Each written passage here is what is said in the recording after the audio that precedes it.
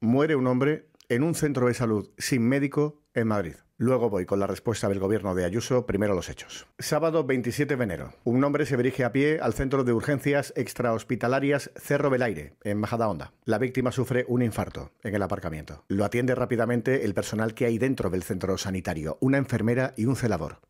No hay médico. La maniobra de reanimación no es suficiente porque no le pueden administrar fármacos. Los medicamentos solo los puede pautar un médico, que no hay. Se llamó a una UBI móvil que tardó 20 minutos en llegar y que nada pudo hacer por salvarle la vida. Tenía 72 años. El problema es que este caso no es el único. En diciembre de 2022, un bebé falleció por parada cardiorrespiratoria durante un turno en el que no había médico en un centro sanitario de Paracuellos el Jarama. Así que vamos con la raíz del problema. La Comunidad de Madrid, que preside Isabel Díaz Ayuso, abrió hace año y medio 80 centros sanitarios, con la plantilla de 40. La estadística de ausencias médicas es bestial durante los meses de verano y también durante los festivos. Y esta que te voy a contar es la respuesta política oficial. El gobierno de Ayuso insiste en promocionar estos centros atendidos solamente por enfermeros y por enfermeras. El modelo británico lo llaman. Así que a ver si lo he entendido bien. Porque aquí ya no te hablo ni como periodista ni como paciente.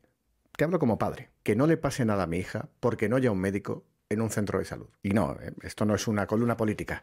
Esto es un alegato en defensa del derecho a la vida y de la mejor atención posible a los enfermos. Esto es un alegato para que los políticos, y me da igual el partido, se gasten el dinero de nuestros impuestos en lo realmente importante. Lo que demostró la pandemia es que no tenemos la mejor sanidad pública. Lo que tenemos es al mejor personal sanitario haciendo encaje de bolillo con lo que tienen. Hoy más que nunca, salud y suerte.